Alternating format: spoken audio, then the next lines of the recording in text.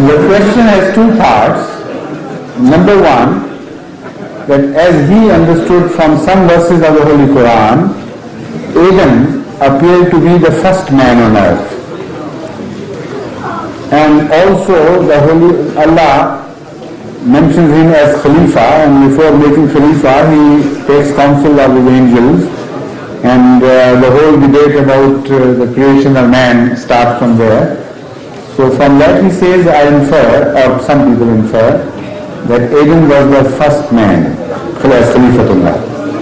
I told him it is wrong. I have mentioned it elsewhere. I have discussed this question in detail, inferring from various verses of the Holy Quran that, that Adam was positively not the first man.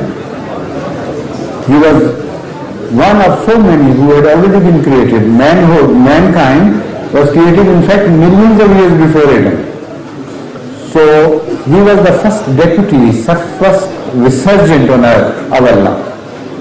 That is his distinction and no, not that of being the first man.